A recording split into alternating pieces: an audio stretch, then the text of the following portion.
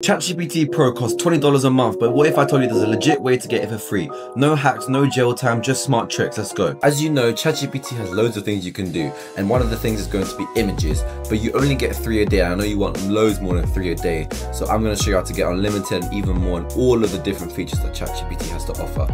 As you can see, hello ChatGPT 4, this is a type of ChatGPT which you can use, and I'm saying GPT a lot, but as you can see, you can ask what is ChatGPT 4.0, and it is doing it through the 4.0. And another way is going to be called the Hugging Free Spaces. So search up Hugging Free Spaces ChatGPT. I know a bit of a weird name, but it works. Go on this one, let's say, or there's loads of others out there, so you don't have to just do this one.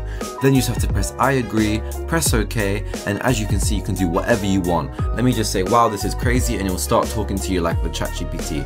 And as you can see, that is very, very, very good.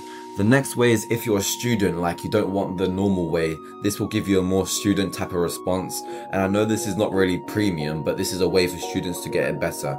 The next way is if you go to poe.com, press continue with Google, do all of the details that you need to do. Let's say your year, your date of birth, and this and that. And as you, there's all of these official bots you can do, all of them. You don't really have to like choose a specific one, but they're all very, very good. And you can talk to it like normal, and they'll all give you a different response, like how you want it. So ChatGPT 4.1 is very good for certain things. The next way is if you go to Microsoft Copilot free trial. So Microsoft Copilot is a type of chip, like not it's not ChatGPT the same, but it's a type of different one, and it works very, very, very well.